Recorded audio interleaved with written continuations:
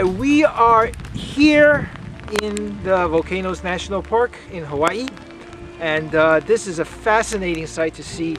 It's literally seeing Earth creating land uh, in real time here, or at least in geological terms is real time.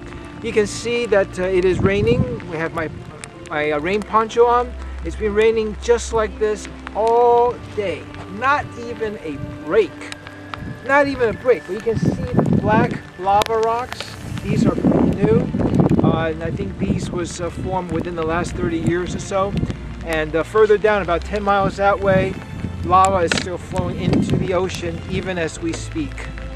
Uh, it's been uh, erupting since 1983 and um, it's just beautiful out here. Lots of people out here um, and it's too bad that it's raining uh, so we can't really go on too many hiking trails today. But still, it's worth it to spend the day here just driving around and look at this desolate, desolate scenery. Just looking at the simple power of the volcanoes and the destruction. It is certainly unique and this is one of the beautiful things about national parks. Every one of them has something unique and uh, it is absolutely fascinating.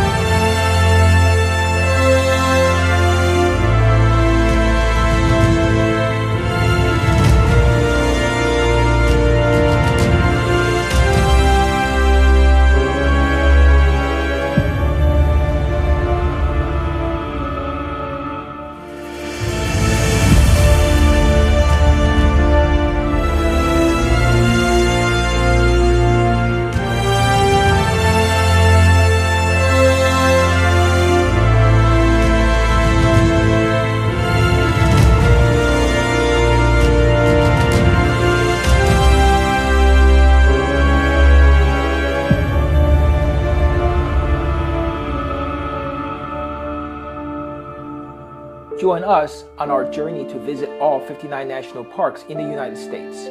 Subscribe to this channel for more great national park videos. Give this video a thumbs up if you like it, and check out my blog in the description box below.